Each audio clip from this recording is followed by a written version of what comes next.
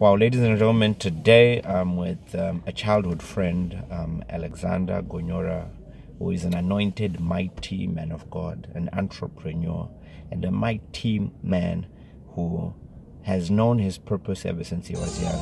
This man has started ministering when he was young. He used to minister. I remember when we grew up, this guy used to, you know, any opportunity to minister the word of God could it be in an ET? Could it be in a bus? Wherever we were, he would just start ministering the word of God. Alex, how are you? Oh, you say it's good to meet you today. That's great. Alex, we just want to find out. I mean, you found your purpose at a young age, and there are a lot of people out there who don't know what they exactly they're supposed to do in life. So we want to find out from you what made you get that conviction at a young age to know that you're a man of God and you are destined to be in ministry. When you grow up, uh, there's always that thing that you like doing the most. Uh, but if you're gonna get a wrong, if you're gonna personally get a wrong interpretation of it, mm. uh, the, you, it might it might be your biggest hindrance. But um, we might, as much as you might get a wrong interpretation of the thing, but if we can have somebody who can interpret it for you, right? You remember Joseph? The, there was a time he was in the in, in jail, mm.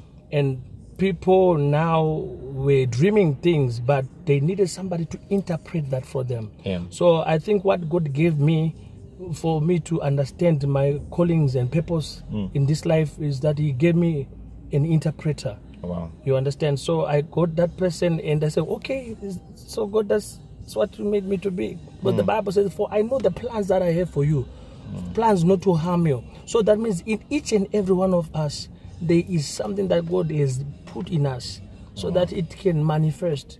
So the at times we we hold it in. Why maybe because of fear, but I think you need to surround yourself with people that are going to celebrate uh, the, the gifting that God has imparted in your life so that they can help you water and uh, cultivate whatever that is it in, is in you. You know, there's so many people I know when we grew up, there are a lot of people who used to laugh at you, people who used to, you know, a lot, a call lot. you pastor, people who used to try and pull down Most what you had. I remember growing up every time there was a funeral in the ghetto I'm high telling density, you, I'll- he would just rock up. I will just be there. and, you know, I was your the boy. pastor. I- He's buried many I people. He's there's so many things that he's done. But tell me, what what made you stay true to your purpose and your It calling? there's a passion. I love people. Yeah. I, I, I love people. There, there's no way you can love somebody they're hungry and you don't feed them. I might not have had food, but I had another type of food. I had spiritual food. Hmm. You could tell that these people, as much as they are having bread in their houses, there's another type of bread that they're not having. The Bible says that Jesus said, I am the bread of life. Hmm. So you could find that people, as much as they were just living, they were living without direction. Why? That's They were hungry. Hmm. What were they waiting for? The bread. And who had it? It was in me. God said, I have given you this bread that you can give the world. Say, go ye out into the world. You know, when the Bible talks about the world, it's Yeah. not just talking about geographical uh, areas. No, no, not not really. But actually, what they are doing is that they they when world is it's like a uh, it's like a group of people. With, right. with the same, with the right, with the same set of thinking. That's the world. That's why people, you can, the, your world can be the marketplace. That's right. Your world can be uh, the, the people uh, who, who, are selling different type of commodities. You understand what I'm talking about? But now I had to go to that to those people. Actually, I was looking for for for funerals. At that time, I would look for funerals, and then if I would hear that there's a funeral here, I'll go and bath. You know, I had to bath Yeah, yeah. and and put on something that was spiritual. And I will ask, is there anybody ministering here? The moment they told me there's nobody, I will just say, I'm here. in my Bible, my small Bible will come out of the, the, my pocket and I'll minister to people with the passion. People will give their life to I, Christ. I personally witnessed that. This uh, is not a joke or yeah, a the other time it was your, mom, your mom's funeral, right? Yeah, yeah, yeah. And I was there and I was so young and I was so Yeah. naive. But That's at right. that time, I, I knew that there was something about me. Wow. People would tell that what is speaking here is not this small boy. But Yeah. they suppose the Bible says who is in you is greater. You see, hmm. it's not about you. Yeah. It's about who is in you. That's so right. you it's an opportunity, it's a decision that you need to make that okay, God, you want me to do this. I'm, I'm going to do this. Because wheresoever you're going to put your foot on, you will possess. So Wow. it's, it's, it's, it's, it's, it's, everything is at our disposal. God has done everything. We are waiting upon God, yet God is waiting upon us. I remember Wow. this man the other time, I was always crying to him, No, things are not moving. And he said, Why won't you do what God has called you to do? When I was talking about an interpreter, he's one of the people that God has used in my life as an interpreter. You understand? So the moment I said, I'm going to make a decision so that I'm going to go out there and start to do what God has called me to do. You know, when you do so, when you start to do something that you love to do, Yeah.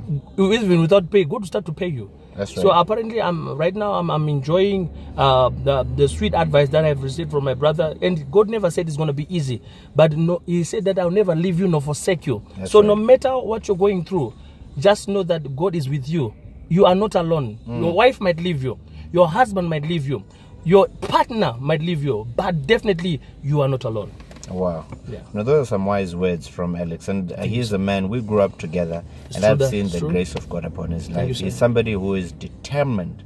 And this is to somebody out there. You know, the reason why I keep doing these videos again and again is to show you that all of us have a story. It doesn't matter what field or industry that we are in. Right. One thing that he spoke about, which I love, stay true to what you do. It's. Follow your passion. Definitely. You see? You have to do what you love to do because that's the thing that God put inside of you. Yes. Don't do things to please people. Don't do things because you're trying to, you know, make No. other people happy. No. Live your own No. life. Stay in your lane. That's right. Stay Stay, in your lane. lane, Stay and do lane. what you love. And Alex, what, what are the last words you want to just encourage somebody who is out there who may be going through a difficult time, who may be saying, you know what, the economy, things are not going well, things are not balancing up. But what can you say to somebody who is out there?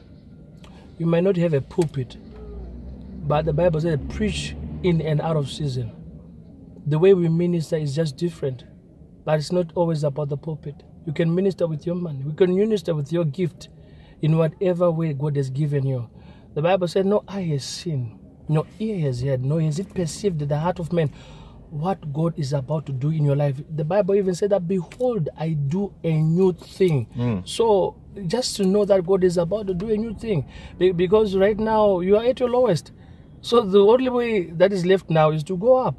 But now your mindset has got to be changed. The Bible said that be ye transformed. Transformed means met, it's a Greek word meaning metamorph, meta- metamorpho.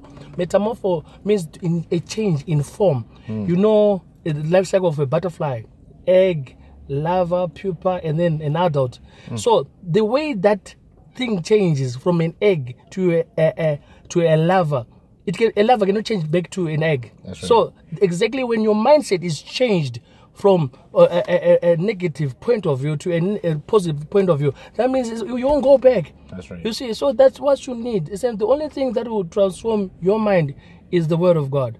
You need to stay to the Word of God. There's no other way. Jesus said, I'm the truth, the way, and the life. So I'm telling you, no matter what people may say against you, but what's more important, whose report are you going to believe? God is saying that I'm with you. No matter you go through the waters, you shall not drown. Might go through the fire, the fire will not burn you. So it doesn't matter. You don't need people's vote. God is vo- if you got God's vote, nobody's vote matters. So the best is yet to come. Wow. Ladies and gentlemen, that's my personal friend, Alex, uh, who is a pastor Thank you, now, who is really flowing in what he loves to do. you. And uh, this is to you out there. You know, stay true to what you do, stay in your lane, Yes, love what you do. Don't live a life to please people, but live a life that suits you. You may be going through a hard time, but just like he said, be transformed Come on now. in your mind Yes, true. and you will never be the same. Careful of what comes out of your mouth. You're the hmm. first prophet in your life. Yes. Speak positive, Yeah. even when you're going through the hard That times, because you will persevere. Yeah. And there's no battle that the Lord gives you that He knows you can't overcome. Wherever you are, I hope this blessed you. Stay true to what you do. Yeah. Stay in your lane. It's your boy, GB, and yours truly, Alexander. Peace. Yes.